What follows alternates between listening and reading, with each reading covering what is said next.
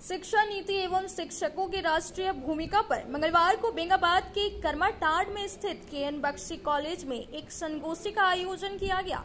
मौके पर मुख्य वक्ता के रूप में शिक्षा, संस्कृति, उत्थान न्याय के राष्ट्रीय सचिव अतुल कोठारी उपस्थित हुए। वहीं अन्य वक्ताओं में कॉलेज ट्रस्ट के अध्यक्ष डॉक्टर शिव शक्ति बख्शी, विनोबा भावे यूनिवर्सिटी के पूर्व registrar doctor S P Sinha, college trust की डॉक्टर निशा बख्शी आदि मौजूद रहे। प्रोफेसर सुमित कुमार सहित कई अन्य शिक्षाविदों ने भाग लिया।